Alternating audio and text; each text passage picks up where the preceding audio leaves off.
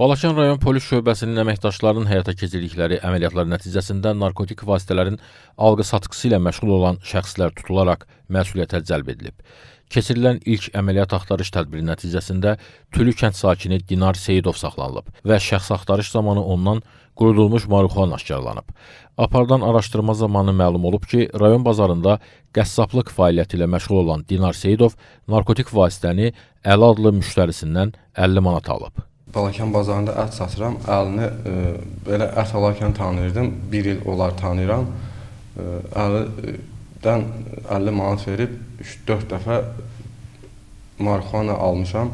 Davam etdirilən tədbirlərlə həmin şəxsin Talalar kənd sakini, əvvəllər də eyni əmələ görə məhkum olunmuş Əli Əhmədov olduğu müəyyən edilib və o saxlanılaraq şöbəyə gətirilib. Şəxs axtarış zamanı Əli Əhmədovdan marihuana aşkarlanıb. Onun kənddə yaşadığı ünvana baxış keçirilən zaman isə evin zirzəmisindəki mürəbbə bankalarının arasında 5 şüşə qaba yığaraq gizlədiyi narkotik vasitə olan qurudulmuş marihuana, eləcə də çətinə bitkisinin hissələri aşkarlanaraq maddi sübut kimi götürülüb. Keçən il əkmişdim nəşə. Vardı 6-7 ağac əkmişdim. Onları qurutmuşdum, yığmışdım. Nəşəni evin altında idi, mürəbbə bankalarının içində idi. Ora qoymuşdum.